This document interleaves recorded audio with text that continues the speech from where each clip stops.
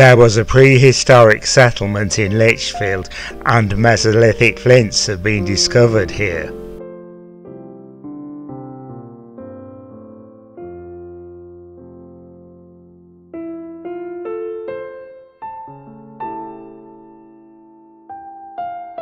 The cathedral, built of sandstone, is known for having three spires.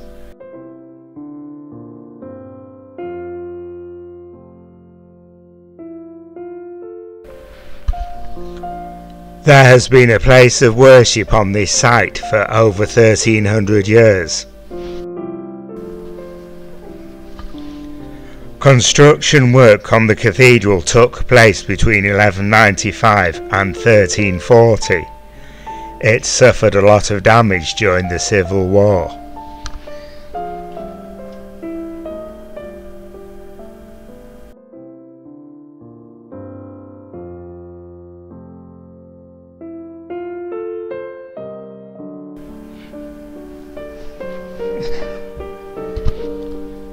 The close has buildings associated with the cathedral and clergy.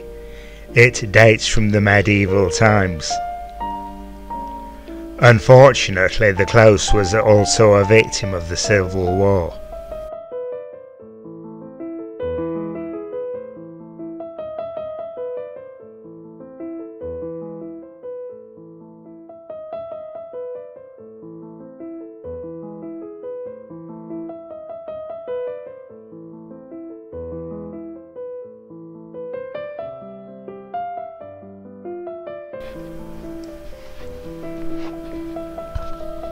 In the past, the Minster Pool was used as a mill pond and fishery until 1856 when the mill was demolished.